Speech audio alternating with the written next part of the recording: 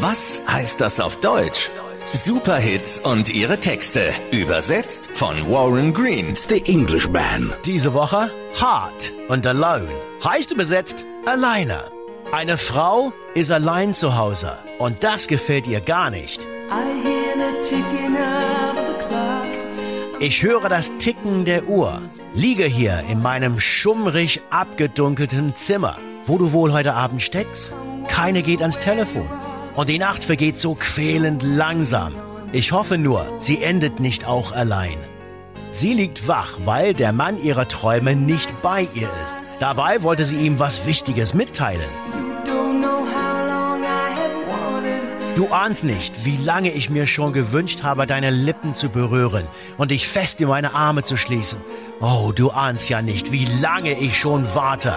Und heute Nacht wollte ich dir eigentlich alles sagen, aber noch ist es mein stilles Geheimnis. Und noch bleibt meine Liebe für dich unbekannt.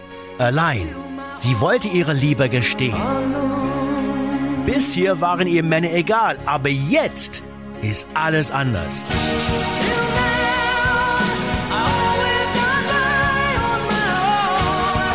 Bis jetzt bin ich immer glänzend alleine zurechtgekommen. Bis ich dich sah, war mir das eigentlich alles egal. Und jetzt fährt mir die Kälte in den Knochen. Wie soll ich dich nur kriegen? Allein. Wie soll ich dich nur kriegen? Allein. Was heißt das auf Deutsch? Jede Woche neu zum immer wieder anhören in der SAW Mediathek, kostenlos auf radiosaw.de oder in der SAW App für euer Smartphone. Was heißt das auf Deutsch? Superhits und ihre Texte. Übersetzt von Warren Green. Nur hier auf Radio SAW. Superhits fürs SAW-Land.